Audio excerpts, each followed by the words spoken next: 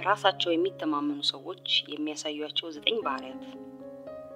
በራስ የሚተማመኑ ሰዎች ስለ ማንነታቸው በጣም ጠንቅቀው የሚያውቁና ስለ ራሳቸው ትክክለኛ image ያላቸው ሲሆኑ ምን እንደሚያውቁና እንዲያውም ማሻሻል ያለባቸውን ክፍተቶቻቸውን በደንብ አድርገው የሚያውቁ ሰዎች ናቸው። እነዚህንም ዘጠኝ ሌሎች ጠቃሚ ባህሪያትንም ይጋራሉ።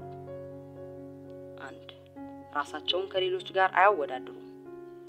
እንትና ከእኔ የበለጠ ትልቅ ቤት አለው፣ እንትና የበለጠ ውድ መኪና ይነዳል፣ እንትና አሪፍ ቢዝነስ አግኝቷል። እነዚህን አይነት ንጽጽሮችን አለማድረግ ራስን መቻል ነው። በራስ የሚተማመኑ ሰዎች ሌሎች የሚያደርጉት ምን ይሁን ምን ደንታ የላቸውም። ስለ ራሳቸው በሚሰማቸው ስሜት ላይ ያተኩራሉ። ሁለት አዘውትረው የአካል ብቃት እንቅስቃሴ ያደርጋሉ። በራስ የሚተማመኑ ሰዎች የአካል ብቃት እንቅስቃሴ ጤናማ፣ የበለጠ ደስተኛና በራሳቸው እንዲኮሩ እንደሚያደርግ ያውቃሉ። ብዙውን ጊዜ የአካል ብቃት ይሰራሉ። ስለዚህም ጤናማ ሕይወት ይመራሉ። ሶስት ጥሩ አለባበስ ይለብሳሉ። በራስ የመተማመን ስሜት ያላቸው ሰዎች በተሻለ መልክ ሲታዩ ስለ ራሳቸው ጥሩ ስሜት እንደሚሰማቸው ያውቃሉ። ጥሩ አለባበስ በጣም ውድ የሆነ ልብስ መልበስ ማለት አይደለም። ይህ ማለት ጥሩ የግል ንጽህና፣ ጥሩ ጸጉር፣ ልብስና ጫማ ያለው ማለት ነው። አራት ቀጥ ብለው ይቀመጣሉ። የሰውነት ቋንቋ በጣም ብዙ ነው። በራስ የመተማመን ስሜት ያላቸው ሰዎች ቀጥ ብለው ይቀመጣሉ፣ በአይን ይገናኛሉ፣ እጆቻቸውን በደረታቸው ላይ አጣጥፈው ብዙ ጊዜ ፈገግ ይላሉ። አምስት በአዎንታዊ መልኩ ይናገራሉ። በራስ የመተማመን ስሜት ያላቸው ሰዎች ስለ ራሳቸው ወይም ስለ ሌሎች በአሉታዊ ጉዳዮች ላይ አያተኩሩም።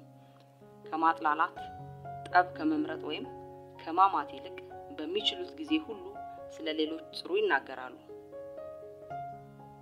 ስድስት እርዳታ ይጠይቃሉ። በራስ የሚተማመኑ ሰዎች የእርዳታ እጅ መቼ እንደሚያስፈልጋቸው ያውቃሉ እና ለመጠየቅ በጣም ኩራት ወይም ፍርሃት አይሰማቸውም።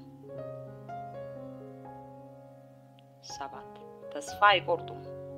እንቅፋቶች እንደ እንቅፋት ሆነው የሚታዩ እንጂ ለስኬት መሰናክል አድርገው አያዩአቸውም። ከችግሮች ጋር ሲጋፈጡ ትልቅም ሆነ ትንሽ በራስ የሚተማመኑ ሰዎች ያሸንፋሉ። ስምንት ሌሎችን ይረዳሉ። ሌሎችን የመርዳት ፍላጎት በራስ የሚተማመኑ ሰዎች ትልቅ የዓላማና ከፍተኛ እርካታ የሚሰጣቸው ሲሆን ውጫዊ ትኩረትም ያገኙበታል። ዘጠኝ በራስ መተማመን ይሰማቸዋል። እርግጥ ነው በራስ የሚተማመኑ ሰዎች እንኳን አንዳንድ ጊዜ በራስ የመተማመን ስሜት ይሰማቸዋል። ሁልጊዜ በቆራጥነትና በራስ በመተማመን መስራታቸውን ይቀጥላሉ።